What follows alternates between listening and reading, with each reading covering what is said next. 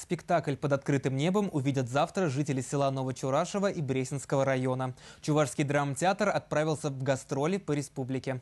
Почти каждый вечер труппа будет выезжать в села и города. Завтра театр в сотый юбилейный раз покажет постановку «Деньги глаза слепят».